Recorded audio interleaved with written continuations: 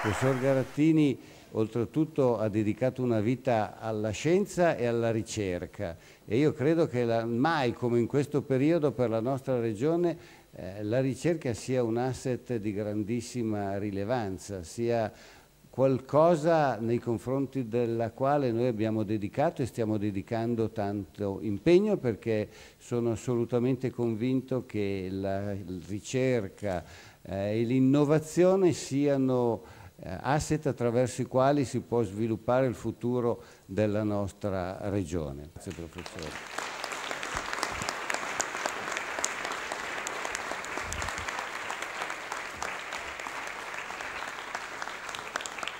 Un riconoscimento importante di un uomo che ha fatto tanto per la ricerca non solo in Lombardia, però ha lanciato anche un appello. La Lombardia fa molto ma dovrebbe fare un po' di più. Ma condivido, io credo di poter dire che la Lombardia sia l'unica regione che ha un investimento che può essere paragonato a quello della Germania, delle principali eh, nazioni. La Lombardia deve comunque concentrarsi, mantenere, se possibile migliorare il livello di investimenti perché come ha detto professore, come anch'io più modestamente sostengo, il futuro è soltanto nella ricerca nell'innovazione e nel capire che si deve cogliere questa grande opportunità che la Lombardia può avere a sua disposizione. Presidente, il professore ha detto che il numero di medici attualmente è basso, rischia di esserlo ancora di più avanti e ha detto che dovremmo ricorrere eh, di conseguenza a personale straniero, anche per il personale infermieristico.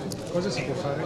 E vede, quella è una cosa che stiamo sostenendo anche noi, ma sono contento che l'abbia detto il professore perché noi lo lamentiamo da tempo, ma nessuno dice e fa assolutamente niente. Io credo che sia una cosa che ha dell'incredibile, abbiamo necessità di più medici e abbiamo le università che pongono il, il numero limitato delle iscrizioni è una cosa che non, non, non, ha veramente senso. I ragazzi, ci sono tantissimi ragazzi che vorrebbero iscriversi a medicina e che devono sottoporsi a una serie di test per poter entrare nelle facoltà. Allora io credo che su questa cosa il governo per adesso, un domani se dovessimo avere più autonomia eh, con l'autonomia dovremmo fare delle scelte diverse.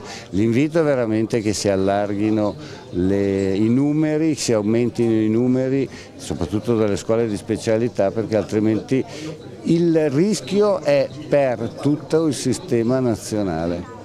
A proposito di autonomia, la Regione ha già pronte le richieste da consegnare al Ministro? Avverrà entro l'estate? O... Noi siamo pronti, entro la fine di luglio andremo a Roma a portare quelle che sono le nostre richieste. C'è qualche priorità? Beh, noi partiamo sicuramente dalle cinque richieste che ha presentato già Maroni e eh, implementeremo il numero e approfondiremo. È chiaro che dato che è necessario fare un approfondimento, per adesso inizieremo a partire con un numero non tutte, ecco, non tutte. Quando sarà pronto l'istruttoria gradualmente presenteremo anche la richiesta per le altre.